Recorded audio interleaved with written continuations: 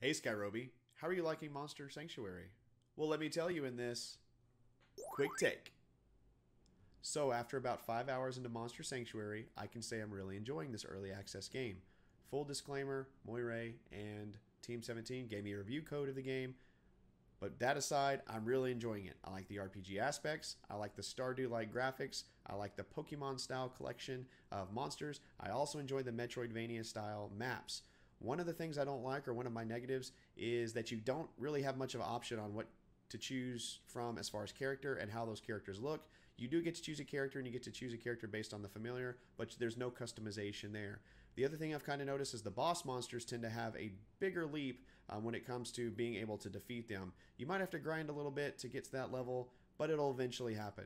So, all in all, I'm really enjoying this early access indie game after about five hours. There is your quick take on Monster Sanctuary. Take care.